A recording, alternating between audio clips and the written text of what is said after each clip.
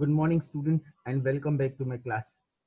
Today I am going to teach you the chapter of 11th class that is journals, books of original entry and I am taking the topic that is goods and service tax GST. So let us understand first that goods and service tax is the tax which is levied one time by the government. It is levied both on purchases and sales. When the goods are sold within the state, CGST and SGST is calculated. But when the goods are sold outside the state, IGST is calculated. Let's see how it is to be calculated. On purchase of goods, the journal entry will be purchases account debit, input CGST account debit, input SGST account debit, input IGST account debit to cash or bank account or to creditors. Now here I had used the word input CGST, input SGST and input IGST. I use the word input because just take an example when the goods are purchased, they are coming to your factory. When the goods are coming to us in our factory, the word input should be used. When we are selling the goods, the goods are going out of the factory, we will use the word output, right? So on the sales of good, we will do cash account debit, bank account debit or debtors account debit to sales to output CGST, to output SGST or to output IGST. If the goods are sold within the state, CG, output CGST, output SGST will be used. If the goods are sold outside the state, output IGST will be used. So let us understand this by an example. So first example is purchase goods from Sohan of Agra for cash worth 10,000 rupees against CGST and SGST at the rate 10%. And here in this uh, question, just make it sure that after this 10%, each word is not given. That means the total of the CGST and the SGST will come to 10%. That means CGST will be 5% and SGST will be 5%. So the journal entry first will be purchases account debit, input CGST account debit, input SGST account debit to cash account. First, we will write the amount of the purchase that is 10,000 and calculate 5% of this 10,000 comes to 500 rupees. Again, for SGST, the same amount will come.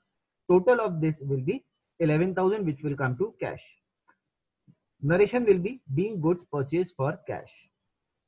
Next is purchase goods from Rajan of Agra worth 10,000 against CGST and SGST at the rate 10% each. Here the word each is used. That means CGST is in, itself is 10% and SGST in itself is 10%. Journal entry will be same just and to Rajan because it, the goods are purchased on credit, not purchased on for cash. So the purchase amount will be 10,000 and 10% of this 10,000 comes to 1,000 and again 10% of this 10,000 comes to 1,000. The total will be 12,000 which will be written under Rajans. Next transaction is purchase goods from Shivan of Amritsar worth rupees 20,000 against IGST at the rate 20%. As the goods are sold outside the state, we have to use IGST. So it is purchase account debit input IGST account debit to Shivan. First, write the amount at purchases. Now, we will calculate 20% of this, which comes to 4,000. Together, it is 24,000. The narration will be being goods purchased on credit from other state. These were the transactions on purchases. Now we see the transaction on sales.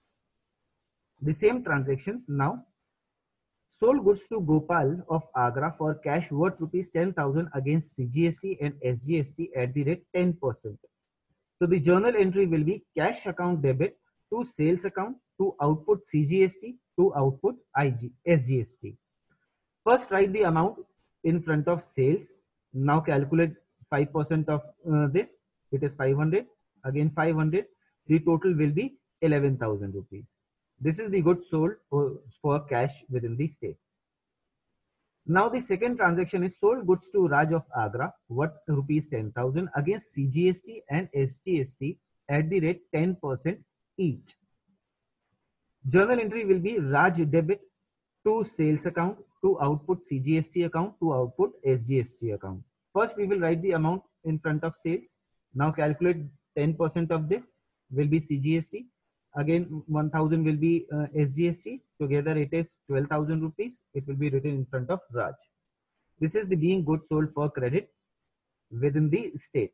Now, sold goods to Sajan of Amritsar worth rupees 20,000 against IGST at the rate 20%.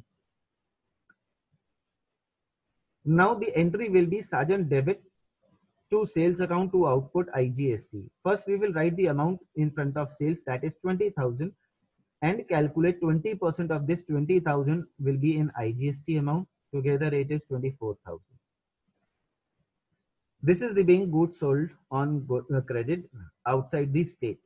So this is all for this class. Just pause your screen and copy the questions and try to do them by your own. Thank you and have a nice day. Bye. Thanks a lot.